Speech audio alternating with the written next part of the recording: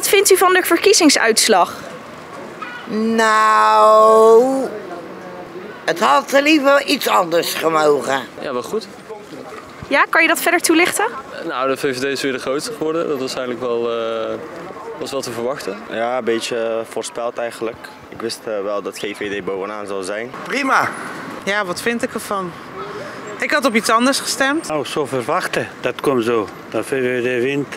Maar voor mij is grote verrassing dat PvdA zo slecht gaat. Ja, ik vind het zo erg. Hè? Partij van de Arbeid is altijd positief voor uh, mensen van werken, voor jonge mensen en dat, dat soort dingen. Ik, ik hoop dat uh, volgende jaar komt iets beter of zoiets. Ja, omdat ik tegen Wilders ben. Omdat hij ons het land uit wil, alle allochtonen. Vooral de Turken nu.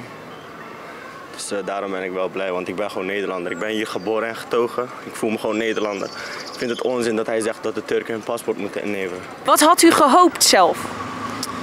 Um, ja, ik zat toch bij GroenLinks, Denk. Ik zat een beetje... Ja, en waarom had u op Denk? Waarom Denk? Uh, ja, gewoon ook hoe ze alles brengen. Hè? Dus uh, Nederland is van iedereen. En um, ja, we moeten gewoon vrij kunnen zijn in onze keuzes. Ik wil mijn hoofddoek houden, ik wil halal kunnen eten. Um, ja, als andere mensen dat niet willen, dan is dat hun keuze, zeg maar.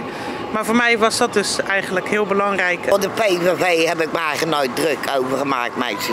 Want niemand wil met hem samenwerken. Dus wat maakt hij nou? Hij kan wel, ik weet niet wat hebben.